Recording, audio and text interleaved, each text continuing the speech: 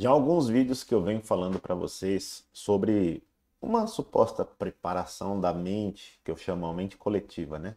A mente da massa, sobre alguns eventos que estão chegando. Bom, sabemos que a própria Bíblia nos alerta sobre os enganos finais e que, se possível for, até mesmo os escolhidos seriam enganados, não é isso? Bem, uma das questões que eu sempre alerto é quando a gente olha para o céu, sobre esses eventos, sobre a questão de vida fora da Terra e que isto será usado também para poder enganar grande, é, mente, grandemente a massa e conduzir para onde desejam. Eu acredito que estamos cada vez mais perto com as coisas que estão aparecendo para que as pessoas já fiquem né, sendo preparadas. Agora na China, que sempre desperta grande curiosidade em todo mundo, né? Mais uma vez no céu aparece um objeto voador não identificado e agora de uma forma bem nítida. O que a gente sempre reclama é que, olha, veja bem, sempre que aparece as fotos são ruins, né? A qualidade do vídeo é ruim. Dessa vez não. Vamos lá? Deixa eu mostrar aqui para vocês. Dê um like, se inscreve no canal, ative as notificações para você não perder os próximos vídeos. OVNI em formato de disco metálico, super, é, fala transparente, né? Foi fotografado sobre a China. A imagem surpreendentemente nítida que foi capturada na cidade de Xiamen tem circulado nas redes sociais nos últimos dias. Enquanto muitas fotografias de OVNIs tendem a ser distantes, borradas, né, ou indistintas, desta vez, é, de vez em quando, né, surge uma imagem que desafia essa tendência devido ao seu nível impressionante e incomum de clareza. Aí também gera dúvida nas pessoas, fala assim, pô, isso aí tá muito, é, tá muito limpa essa imagem, né, tal que, que hoje em dia ainda com inteligência artificial, né, mas o que estão analisando é que essa imagem não é editada e não é de inteligência artificial. Capturada pela câmera sobre a cidade chinesa de Xiamen por um fotógrafo conhecido apenas como Sirenin, esta imagem notável mostra um objeto metálico liso em forma de disco bem alto no céu. O OVNI é surpreendentemente claro e se destaca bem contra o pano, o pano de fundo das nuvens iluminadas pelo sol. Que imagem é essa? Tá aqui, gente. Ó, essa é a imagem é, que nós podemos ver um, da foto mais distante, né? Então o rapaz conseguiu tirar. Eu digo uma coisa para vocês, gente. Eu acredito que isso é um objeto realmente que está ali, não é uma imagem editada. Só que a gente não sabe a procedência, de onde é que veio isso daí, de onde está vindo, né? É, então você vê que é uma imagem bem nítida, porque olha isso aproximado. Olha só como a gente consegue ver. E tem um detalhe aqui muito importante: a gente consegue observar o reflexo do sol no metal. Tá vendo?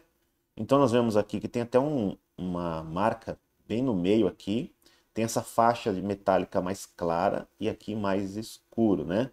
E a gente consegue ver esse contraste com o final. Então, assim, para mim eu não consigo ver uma é, falsificação dessa é, imagem. Agora, que tipo de objeto é esse? Eis a questão. Na China, nos últimos tempos, tem aparecido muita coisa assim no céu que tem chamado a atenção e eu, inclusive, já fiz vídeo aqui para vocês falando sobre, né? Até mesmo aquela questão dos sete sóis que apareceu. Intrigante. Uma vez a China. Então, objeto mais um objeto. Mas não é só por lá, não. Se você for no meu Instagram, eu tenho postado bastante conteúdo por lá, é RenatoGBBR, depois vai lá, eu tô de vermelho assim, ó. Depois confere lá, tá? Veja aqui, ó, eu postei, é... olha essa, ó. Vou posicionar aqui. Tá vendo? Isso daqui foi sobre a cidade do México. Não é um problema da câmera, nada disso. Isso, essa imagem já viralizou, rodou o mundo. Né? Você pode ver que é da WebBC MS México, que é da cidade do México. Tem aqui a, a data, né, as horas, ó, você vê que os segundos estão passando. E que uma luz ali aparenta, né, faz um movimento totalmente incomum, ó. Olha lá, passando na frente da câmera, fazendo todo esse percurso ali e o que veio chamando a atenção. Então isso aqui virou notícia é, lá no próprio no próprio México e também no mundo. Depois dá uma olhada lá, né? E você pode comentar também, deixar sua opinião lá nesse vídeo. Você vê que tem muitas, muitas pessoas, né? É, aqui, né? Até o Cláudio para enganar as pessoas. Não sei. O, a, o, o final disso tudo é o que eu venho alertando, né? O que eu venho alertando. Que no final disso tudo, é, as, as pessoas estão sendo preparadas. Gente. Então, como serão feitos enganos, né? Como é que serão feitos? Isso precisa de uma preparação nesse aspecto. Então, nós estamos sendo é, preparados já há muito tempo, né? Há muito tempo. Se você vê aqui, ó, vou pôr na tela de novo, ó, você vê que virou manchete também, né? Ó, estranho objeto luminoso sobrevoa a cidade do México.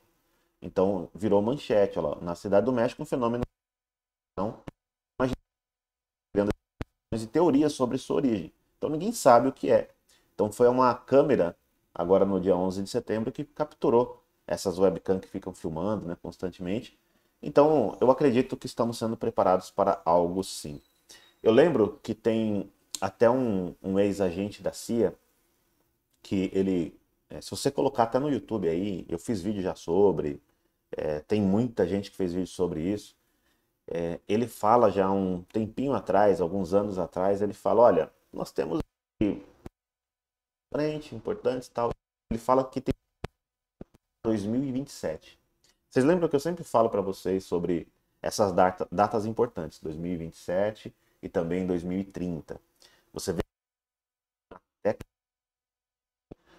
coisas, gente, que em um cronograma, né, desses acontecimentos, desses fatos, e que as mentes vão sendo preparadas ao longo do tempo. E como eu dizia, já vieram né, sendo preparadas através de filmes, séries, documentários, reportagens. Agora, o próprio Congresso americano falando abertamente, né? políticos americanos falando sobre isso, sobre né, o contato, sobre esses objetos voadores não identificados. Os militares, isso é muito importante. Então, os militares, o Pentágono, assumindo que existe é, um fenômeno inexplicável. Olha só, então o Pentágono assumindo isso. Então você vê que tudo está caminhando para este ponto crucial. Essa é a realidade. Tá certo? Mas deixa a sua opinião sobre esses vídeos. O que, é que você acha?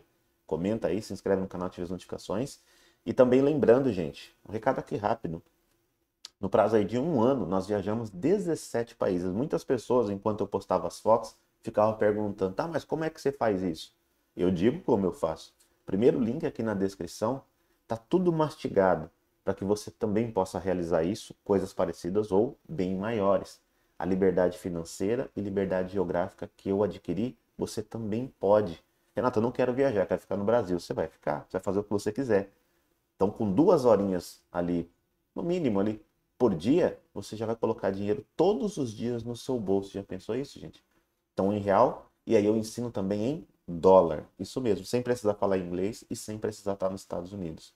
Então clica no primeiro link aqui na descrição, deixa eu te ensinar, se dê essa oportunidade, porque ó, o caminho está mastigado, tá certo? Clica aí e me chama lá no WhatsApp que eu vou começar a te ensinar, combinado? Um grande abraço, que Deus abençoe e até o próximo vídeo.